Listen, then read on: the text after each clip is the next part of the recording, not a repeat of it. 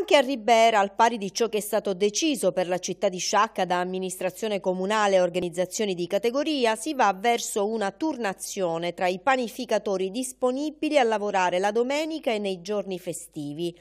Al momento è solo un orientamento di massima, venuto fuori durante l'incontro convocato dall'amministrazione Pace e al quale hanno partecipato diversi operatori del settore. Molti panificatori riberesi hanno dichiarato che la domenica e i festivi intendono rimanere chiusi, altri invece si sono detti disponibili a tenere aperte le proprie attività commerciali anche nei giorni di festa.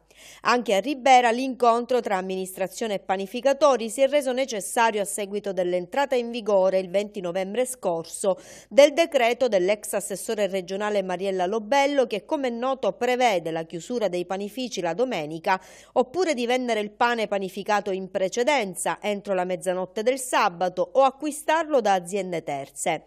Decreto che prevede che il sindaco, sentite le organizzazioni di categoria, possa disciplinare una turnazione programmazione delle aperture domenicali. L'accordo raggiunto durante l'incontro convocato a Ribera dal sindaco Carmelo Pace sembra essere quello di consentire l'apertura solo ai panificatori disponibili attraverso una turnazione.